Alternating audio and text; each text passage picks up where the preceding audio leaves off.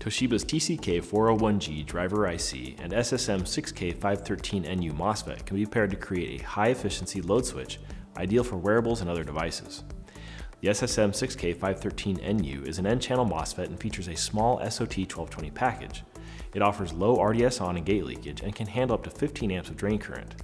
The TCK401G driver has a 2.7 to 28 volt input operating voltage and very low quiescent current, with a chip scale package that is 1.2 by 0.8 millimeters and has a thickness of 0.55 millimeters. The combination of these two ICs results in a small footprint ideal for use as a 100 watt load switch with USB Type-C connectors for a minimum total solution size. The solution also reduces heat from conduction losses by up to 40% compared to a conventional alternative.